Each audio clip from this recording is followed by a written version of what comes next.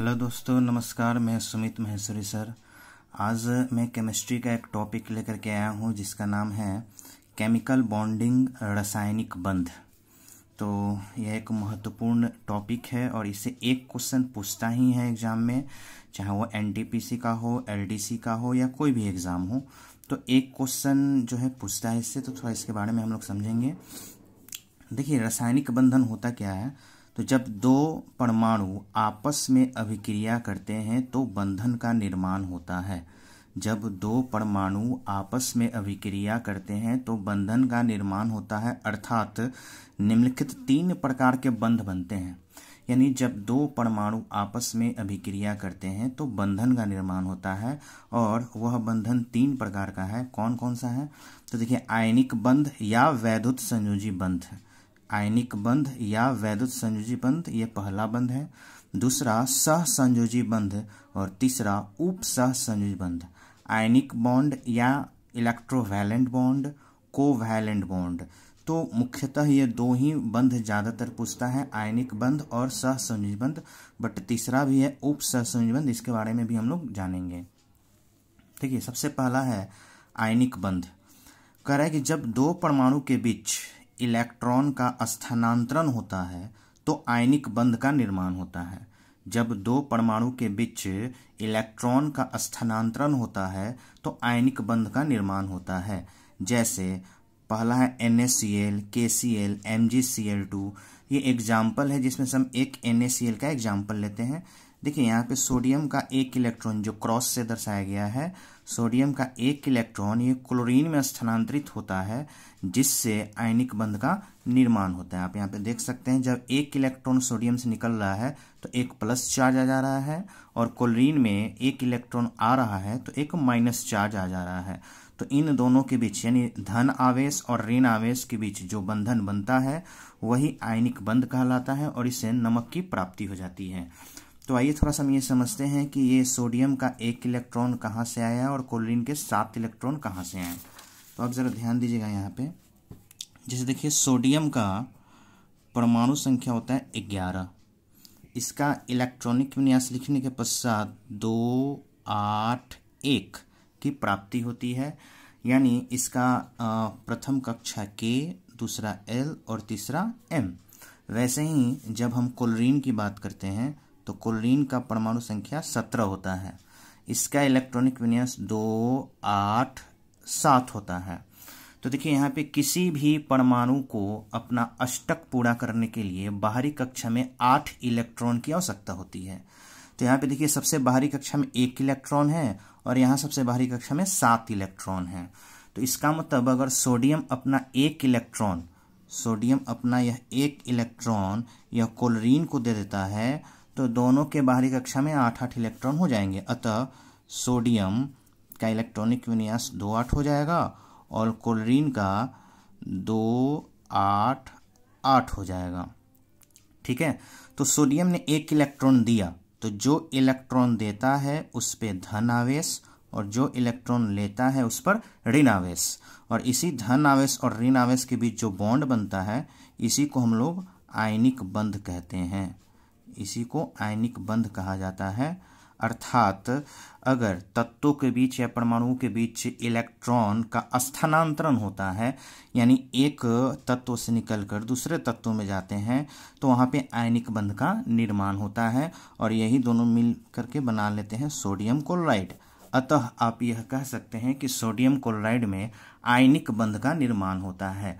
ऐसे ही एग्ज़ाम में आपको और सारे यौगिक दे देगा और बोलेगा कि इनमें से कौन सा बंध पाया जाता है? जैसे, अगर आपको एग्ज़ाम में दे देता है कि के में बताइए कि कौन सा बंध है तो इसके लिए आपको केस, पोटेशियम का परमाणु संख्या याद होना चाहिए 19 इसका इलेक्ट्रॉनिक विन्यास दो, आठ आठ, एक होता है और क्लोरीन का परमाणु संख्या सत्रह, दो, आठ, सात होता है। तो देखिए यहाँ पे, पोटेशियम अपना एक इलेक्ट्रॉन किसको दे देगा? क्लोरीन को। तो दोनों के बाहरी कक्षा में आठ आठ हो जाएगा। यानी दो, आठ आठ। और दो, आठ आठ। तो दोनों के बाहरी कक्षा में आठ इलेक्ट्रॉन कंप्लीट। इसलिए के पर प्लस चार्ज और सी एल पे माइनस चार्ज दोनों मिलकर बना लेंगे के सी एल पोटेशियम क्लोराइड तो इस तरीके से हम बंध को पहचान सकते हैं। तो ये पहला प्रकार था आपका आयनिक बंध। और दोस्तों, ये इलेक्ट्रॉनिक विन्यास कैसे लिखा जाता है, इसका वीडियो मैं नेक्स्ट टाइम बनाऊँगा और वो आपको मिल जाएगा। आप उस पर देख सकते हैं। चलिए यहाँ पे। आगे फिर देखते हैं। यहाँ पे आता है आपका सहसंयोजी बंध। तो देखिए, कह रहा है यदि दो परमाणुओं के बीच इलेक्ट्रॉन की साझेदारी हो तो सहसंयोजी बंध का निर्माण होता है।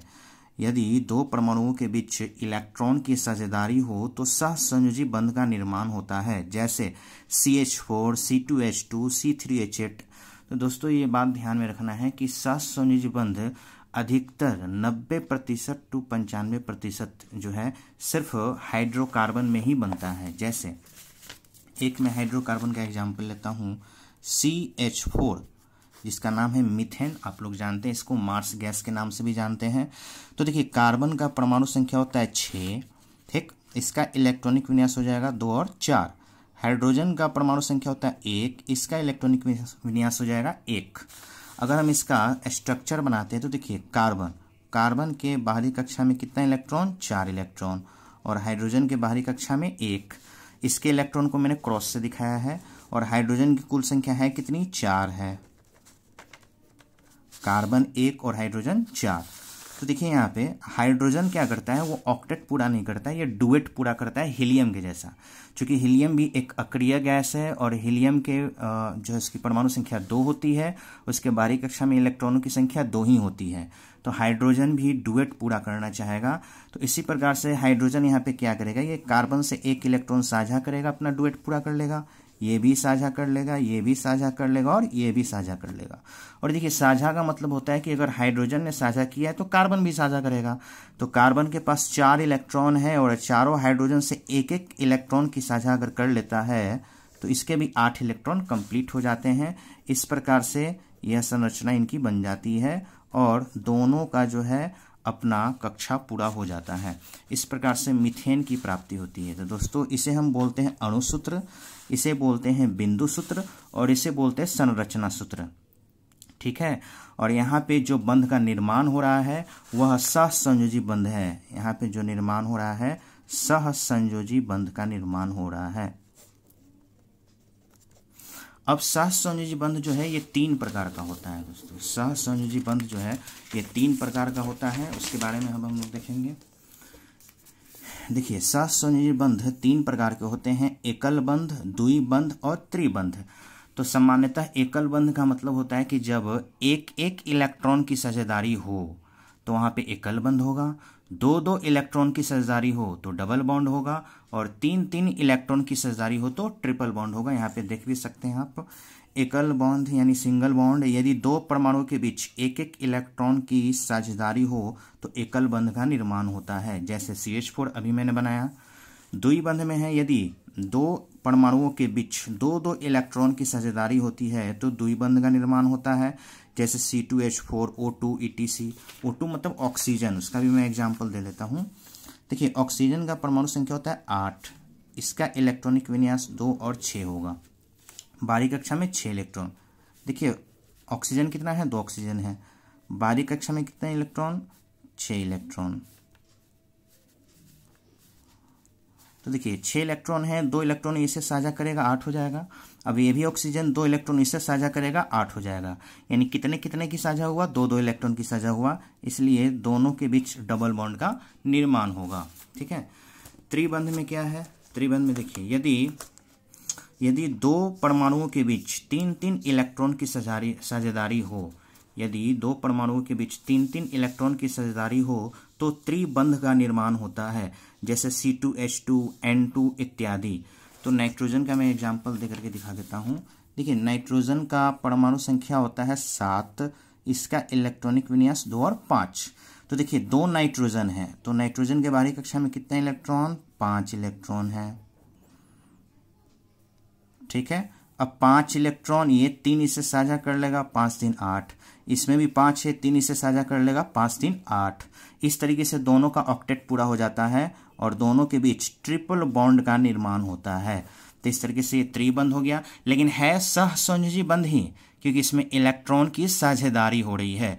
तो आप यहाँ पे क्लियर है कि सहसंयोजी बंध तीन प्रकार का होता है एकल बंध एकल बंध में क्या होता है कि यहाँ एक एक इलेक्ट्रॉन की साझेदारी होती है दुई बंध में दो दो इलेक्ट्रॉन की साझेदारी होती है ट्रिपल बॉन्ड में तीन तीन इलेक्ट्रॉन की साझेदारी होती है। इस तरीके से सहसंयोजी बंध तीन प्रकार का होता है।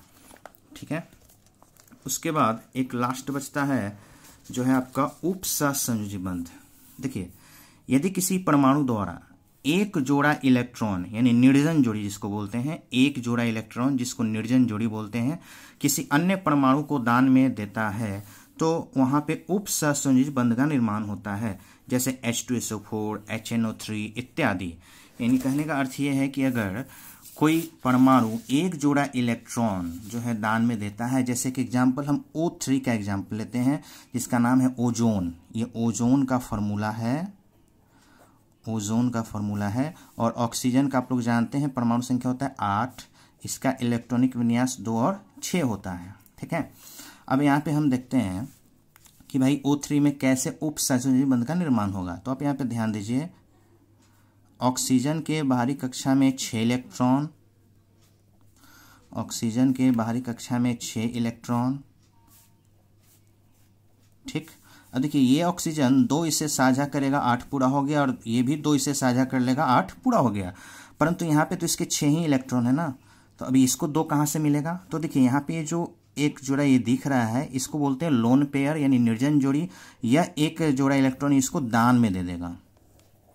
ठीक है? तो यहाँ पे बंद क्या बनता है? तो देखिए, यहाँ पे दो दो इलेक्ट्रॉन की साझेदारी हुई तो डबल बॉन्ड और यहाँ पे दान दिया गया है, इसलिए इसको एरो से दर्शाया जाएगा, तीर से दर्शाया जाएगा। तो यहाँ पे उप सहसंयोजी बंध का निर्माण होता है। तो इस तरीके से दोस्तों जो है, हम पहचान सकते हैं अलग अलग तरीके से अलग अलग यौगिकों का कि भाई किस यौगिक में कौन सा बंध पाया जाता है। और इलेक्ट्रॉनिक विन्यास को समझने के लिए मैं अगले वीडियो को जो है, इसमें हम बनाऊँगा कि भाई कैसे इलेक्ट्रॉनिक विन्यास लिखा जाता है, कैसे पहचान की जाती है, आवर्त सारणी में कैसे उनका स्थान ज्ञात किया जाता है।